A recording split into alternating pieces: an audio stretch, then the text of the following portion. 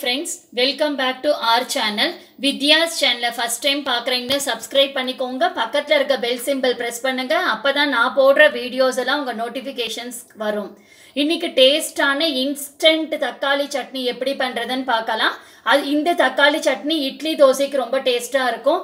அது செய்ய தேவையான பொருட்கள் பத்து பழுத்த பெங்களூர் தக்காளி பத்து பச்சை மிளகா பெருங்காயம் அரை ஸ்பூன் உப்பு ஒரு ஸ்பூன் தாளிக்க ஒரு ஸ்பூன் எண்ணெய் கடுகு ஒரு ஸ்பூன்.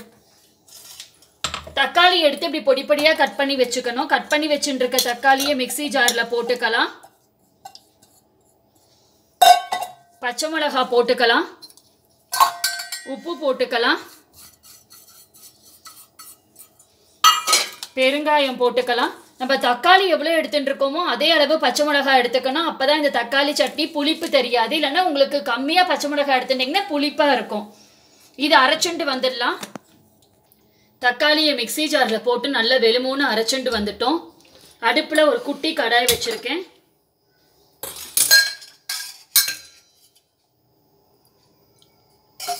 ஒரு ஸ்பூன் எண்ணெய் விட்டுக்கலாம். எண்ணெய் சூடாட்டும்.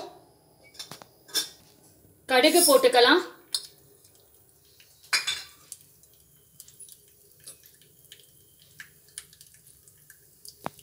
கடுகு வெடிச்சுட்டு அடுப்பை ஆஃப் பண்ணிக்கலாம். டேஸ்டான தக்காளி சட்னி ரெடி வித்யா சேனலை ஃபஸ்ட் டைம் பார்க்குறீங்கன்னா சப்ஸ்கிரைப் பண்ணிக்கோங்க. பக்கத்தில் இருக்க பெல் சிம்பிள் ப்ரெஸ் பண்ணுங்கள் அப்போ தான் நான் போடுற வீடியோஸ் எல்லாம் உங்களுக்கு வந்து சேரும். தேங்க்ஸ் ஃபார் வாட்சிங்